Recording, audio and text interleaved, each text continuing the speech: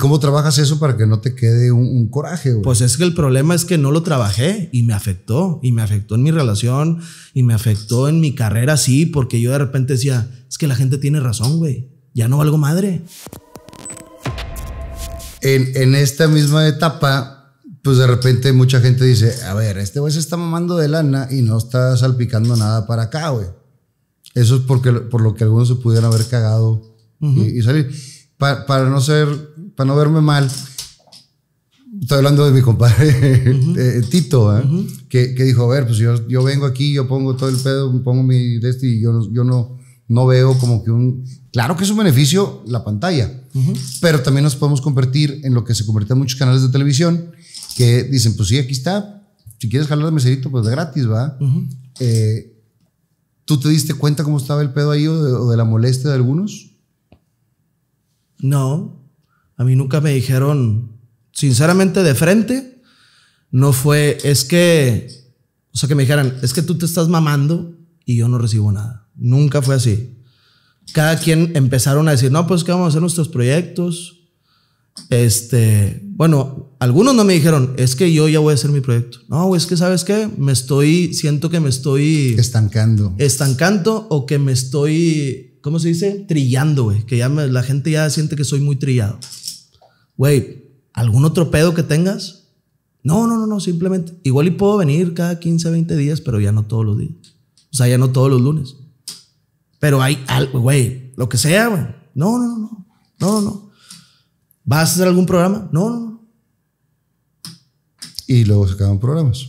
¿Y ¿Qué digo? todos tenemos derecho a sacar programas. Compadre. Pero también creo que, creo que siempre el, hablar al chile y, y decir la, Sobre todo por la amistad, güey. Exacto. Digo, qué chingón. Y, reitero, que lo sigo admirando, me gusta su trabajo, me gusta su trabajo. Pero, este. A mí me, a mí me afectó. Y no, y ojo, no, me, no que me haya afectado que, ah, es que ya económicamente no te va igual. La no, eso a mí me vale madre. A mí me afectó el cómo sucedieron las cosas. Me afectó porque había comentarios que luego la gente se creía al 100%. Es que, por decir, este, no, pues yo no, a mí no me pagaban. Ok. Pero y luego la gente, pinche Mike, de, eh, dale lo que le debes. Pues es que en principio nunca fue una, este, un, no hubo una, ¿cómo se dice? Un, pues un contrato, un, contrato o un acuerdo. simplemente acuerdo de palabra, de te voy a dar tanto o así. Ahora, yo sabía que, pues, obviamente en, los, en la pandemia, pues no había eventos, no había. Pero muy, muy diferente hubiera sido, oye, güey, pues ahora te voy a cobrar tanto por programa. Me parece, güey. Déjame ver si yo, ahora yo también, ¿sabes qué, güey? Ahora ya no puedo, pero yo no le, pero le sigo sin deber a nadie, ¿sí me explico? Sí, sí, sí. Mucho, mucho muy diferente hubiera sido, ok, güey, y trabajaste tres meses conmigo y no te pagué, ya habíamos acordado que te iba a pagar y no te pagué, pues qué mierda soy yo, güey. Ahí sí. Me explico, pero acá nunca hubo un acuerdo de, ah, güey, pues te voy a pagar y no te pago, pues nunca, nunca fue así. Entonces, Entonces ¿qué, ¿qué, crees que ha sido una serie de malentendidos? Fueron, fueron malentendidos y fue el callarme yo, güey. Yo me callé. Oye, no, güey, ¿para qué digo, güey? Oye, es que. No, yo trataba de. La, la, regla de Luis Miguel. Cállate, los hijos, güey. No digas nada. Nada más que ahorita el pedo de las redes sociales es que la gente lo que dicen, lo que alguien dice. Lo toma como una verdad absoluta. Es una verdad. Es una verdad ya. Y si el otro no dice nada, pues va a seguir siendo verdad hasta que el otro hable, güey. ¿Me explico? Entonces, quizá tuvo que haber pasado tanto tiempo. Esto quizá nunca lo he dicho en ninguna parte, güey. Y no tengo miedo de que estas. No estoy hablando nada más que la verdad, güey. Nada más que lo que así pasó. O sea, simplemente hubo comentarios que me empezaron a afectar a mí. Yo me preferí quedar callado y luego se me volteó la gente, los mismos que te decían de los 10 que yo tenía de comentarios, 9 ya eran hate para mí. al revés. Porque ya era un culero. Obviamente empiezan a ver la zona de desmadre como que, pues sin este no eres lo mismo, pues sin este no, espérame, güey. Pues si tengo cuatro años con el programa y ha sido este, poco a poco el crecimiento. Que aquí con estos personajes había una química chida, sí. Pero ahora, no ya no eres gracioso. Que le decía, espérame, pues si yo sigo yendo a. Sí, a no, no- es como que, lugares". no es como que te chupe la gracia y ya no tienes, ¿verdad? Pero sí, mi, ser- mi esposa fue la que lo sufrió, o sea, lo, lo vivió más eh, cerca. Mis hermanos también, de que puta madre, estando agüitado y la chingada. Sí, claro que me afectó. Y entre otros, no me voy a meter en tantos pedos porque hubo también broncas administrativas, pues.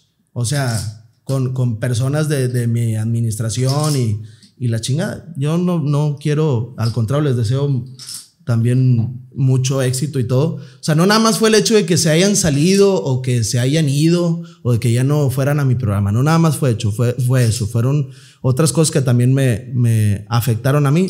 Pero yo siempre callado y sin decir absolutamente nada y sin decir absolutamente nada. Este, ¿Y, y cómo trabajas eso para que no te quede un, un coraje, güey? pues es que el problema es que no lo trabajé y me afectó. Y me afectó en mi relación y me afectó en mi carrera, sí, porque yo de repente decía, es que la gente tiene razón, güey. Ya no valgo madre. La neta, a ese grado, Fer. A ese grado de decir, ¿cómo se está metiendo tanto en la gente, tanto en mi mente la gente, güey? Y los otros sí, como si no hubiera pasado nada. No, pues es que yo ya me lavé las manos. Porque yo no, aquí yo no soy el malo. Pues es que Mike tampoco era el malo de absolutamente nada. No, no, es que no hay buenos y no hay malos, simplemente fueron mal- malos entendidos, cada quien buscando, por supuesto, eh, el crecimiento personal que siempre, siempre lo vas a querer. Sin Pero problema. también, si yo acepto ir a un lugar y me está yendo bien, cuando yo digo, ¿sabes qué? Si no me están valorando, o, o yo, yo le digo, oye, ¿sabes qué? Pues, si tú te estás mamando tantito, pues dame, pero yo lo digo. Pero no, no darlo por sentado tampoco, güey. Sí, claro. O sea, eh, O sea, lo que es que no fallaste, no fallaste en los acuerdos. Porque no había unos no- acuerdos en ese sentido. a mí me gustaría que alguien de los involucrados o de cualquier persona, digo, porque se, se pueden manifestar, no, es que si tú fallaste en este acuerdo, a ver, No, y, aparte siquiera- la, y aparte la gente va a decir sin, sin, sin el argumento de las personas reales. Definitivamente, pero a mí me gustaría que alguien de los involucrados se parara aquí y dijera, es que Mike sí falló en este acuerdo. Yo no fallé en ningún acuerdo, en ningún acuerdo absolutamente. Ahora, es que tú te estás mamando tal cantidad de lana. Pues sí, güey, nada más que yo le pago un chingo de gente, güey. Sí. Y, le, y pago rentas de estudio. el, Digo, el, y es cosa... el riesgo es tuyo. Y el- porque, o sea, tú estás pagando estudio, producción, asistentes, todo lo que tengas ahí, que si jala, está con madre porque lo puedes pagar. Porque si no jala, Sí, va- va de- exactamente. Va de, tu bolsa. Exactamente, nada más que, pues, eh, muchos no y, no, y no es que yo lo tenga que andar cantando, no, es que yo pago, güey.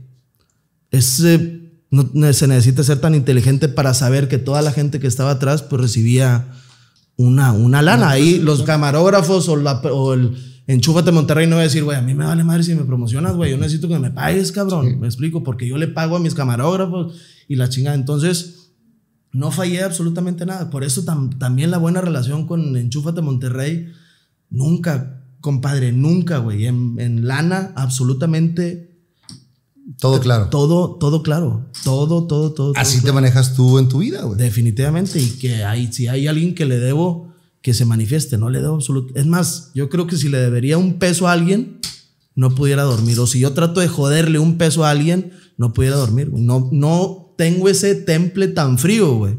Como para decir, ah, güey, le voy a joder 10 pesos este vato.